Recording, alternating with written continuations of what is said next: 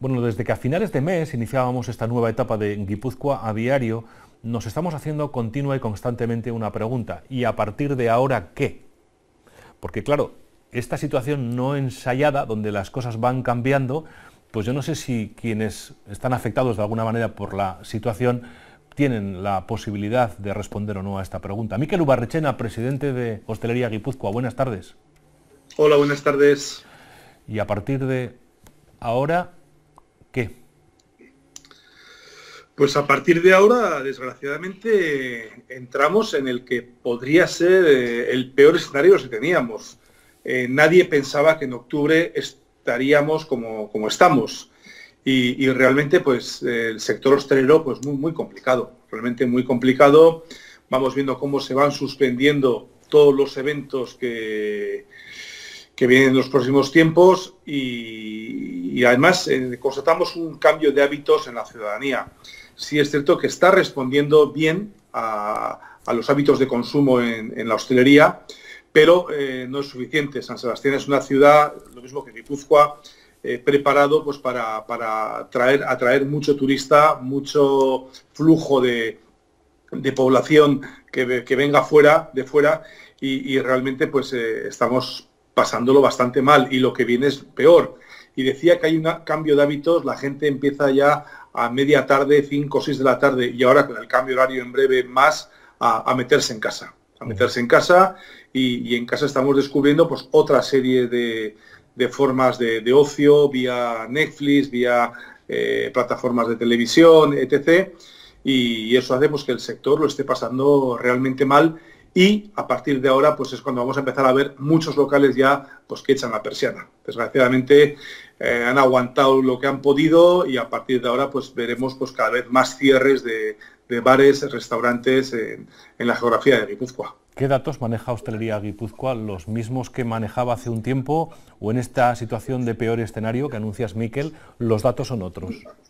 Pues, pues son peores. La verdad es que, que sobre todo las zonas turísticas, las zonas donde la hostelería afecta más eh, el turismo, como puede ser la costa, puede ser Parte Vieja, eh, Donosti, Gros, Zurriola, además de zonas especiales como puede ser la cercanía del estadio Anoeta, pues todos esos bares que viven en torno a los flujos que, genera tanto el campo de fútbol como todas las instalaciones deportivas, pues lo están pasando realmente mal y, nosotros poníamos una fecha octubre como una fecha que era ver cómo estaba la, cantimplora de llena para afrontar el invierno. De, octubre a febrero, marzo suele ser una época difícil para el sector y, y desgraciadamente entre muchos locales que tienen que cerrar por, por los efectos de la pandemia, otros que tienen que cerrar por, por tema económico, pues nos encontramos que cada vez, eh, además de tenemos todo el ocio nocturno prácticamente cerrado, nos encontramos en una situación pues, pues muy complicada, con un escenario dificilísimo y, los datos pues cambian a diario, eh, lo que valía hoy, ayer no vale hoy, pero, pero realmente muy, muy, muy difícil y, efectivamente eh, soportando rentas muy altas, va a ser muy difícil que el sector, pues en, su gran mayoría, pueda, pueda sobrevivir. Ya, eh, en la calle está el debate, Miquel, tú que sales todos los días a la calle y eres un enorme conocedor del sector de la hostelería, pero del sector social de Guipúzcoa vas a entender lo que te quiero preguntar. Hay gente que efectivamente culpa de las cosas que están pasando y de los contagios a la hostelería, otros, otros no. ¿Qué culpa tiene la hostelería? ¿Qué culpa tienen los bares abiertos y la forma que tenemos de socializar con los datos que en días como hoy, impresionantes datos, hoy por ejemplo hablábamos de 224 nuevos casos en Guipúzcoa positivos? Espero que me entiendas la, pregunta porque es una pregunta que está en la calle, ¿no? Sí, vamos, a ver, yo creo que hay, datos objetivos, ¿no? Eh, un dato objetivo es que, por ejemplo, eh, en agosto se cerró el ocio nocturno, se cerró toda la hostelería de ocio nocturno, haciéndolo un poco como el culpable de, la pandemia. Y, hoy, con la hostelería cerrada, seguimos registrando cifras récords.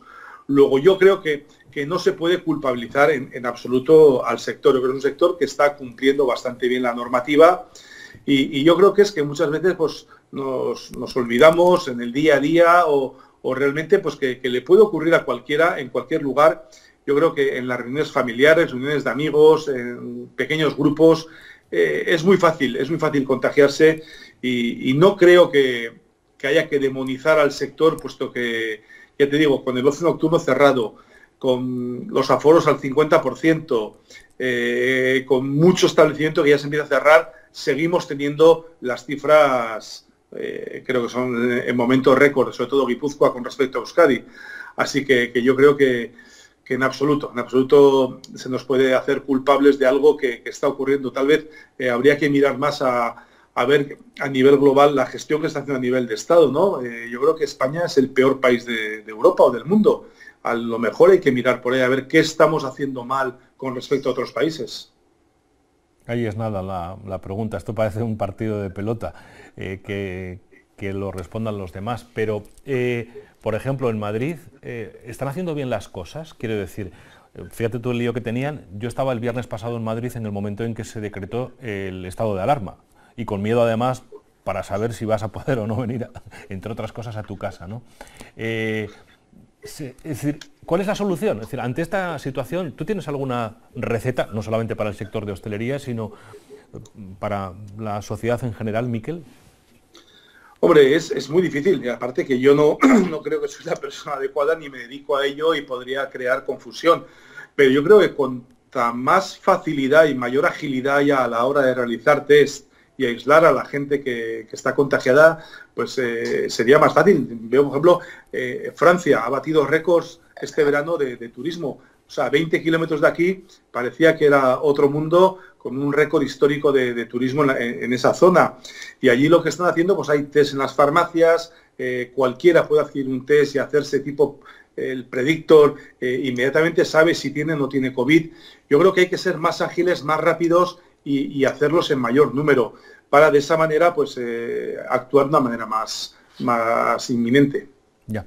Y volvemos al sector que tú bien conoces, la hostelería. Hablabas hace un rato, lo has comentado tú mismo, el problema de las rentas. No todos los bares que tenemos en Guipúzcoa eh, están en alquiler, pero sí muchos y además algunos en zonas muy emblemáticas, pagando muchos miles de euros al mes. Eso es verdad. El alcalde, de hecho, hace poco sugería eh, bueno, pues el que se bajaran las, rentas. ¿Eso es una situación que se está dando, Miquel Ubarrechena, o, no? ¿Las rentas siguen estando ahí y cada uno que se busque la, vida?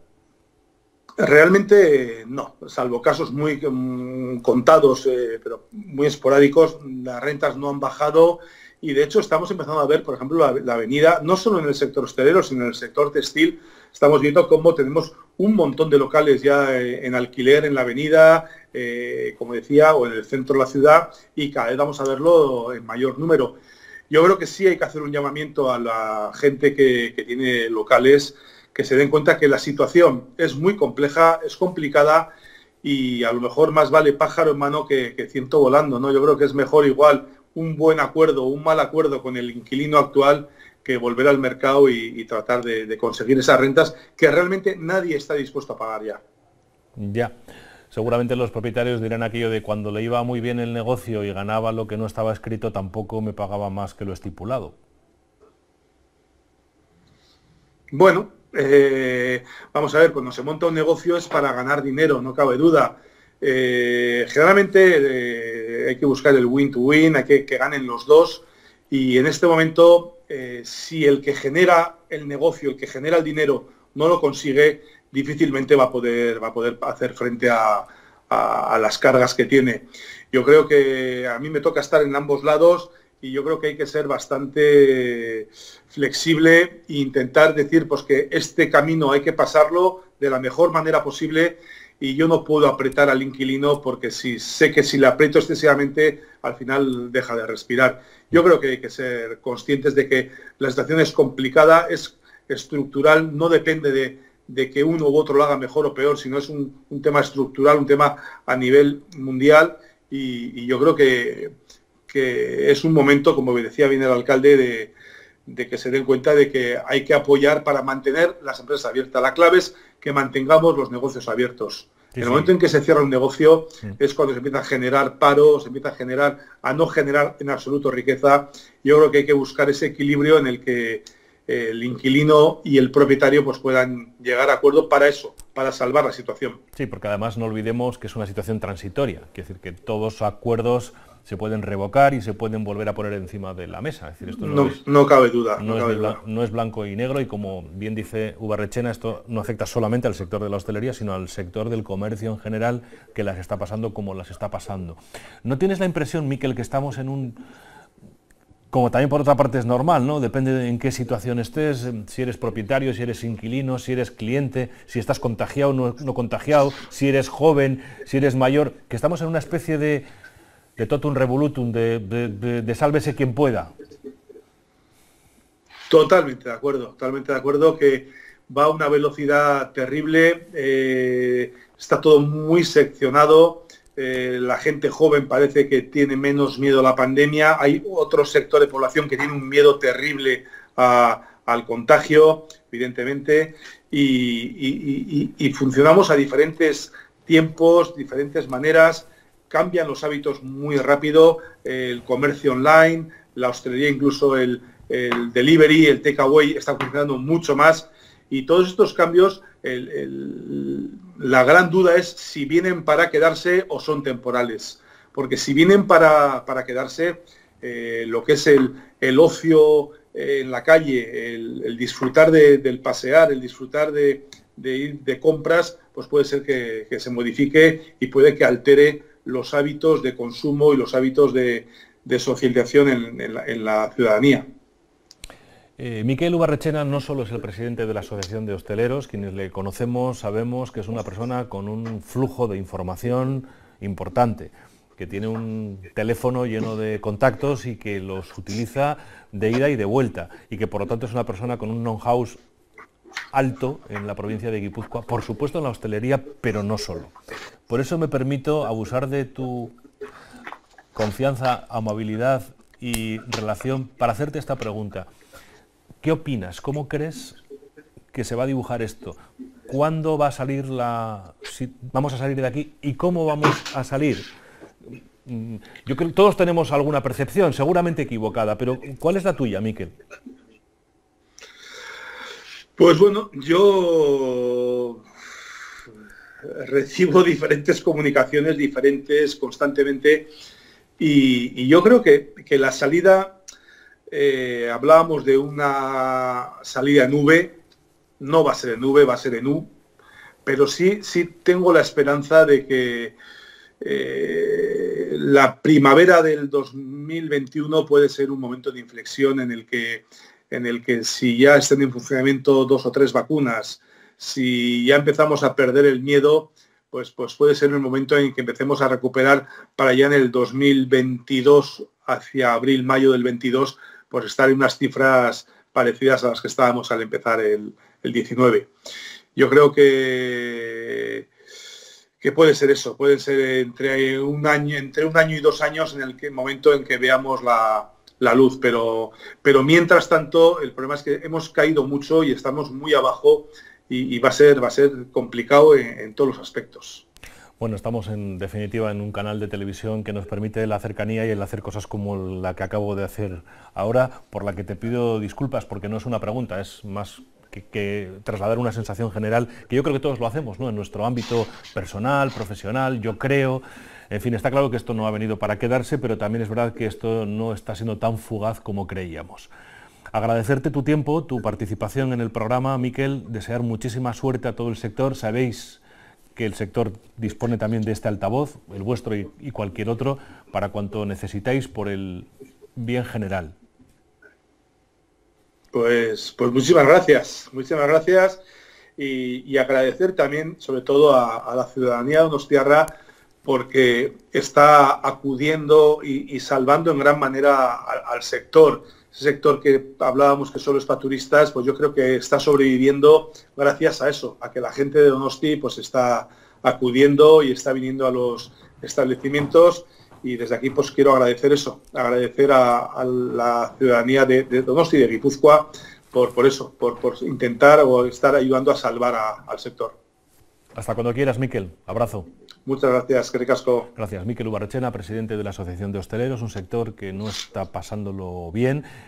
Pero que está unido. Ojo que esto es importante, es un sector unido, es un sector que cuando estábamos en plena pandemia ya hizo una campaña para decir queremos volver, porque ellos en primera persona querían volver y el hecho de que volviera la hostelería implicaba normalidad, una normalidad que parece que no termina de llegar y que se va complicando con este adelanto de este segundo rebrote y con declaraciones como la del propio Miquel que ha dicho que estamos en el peor escenario.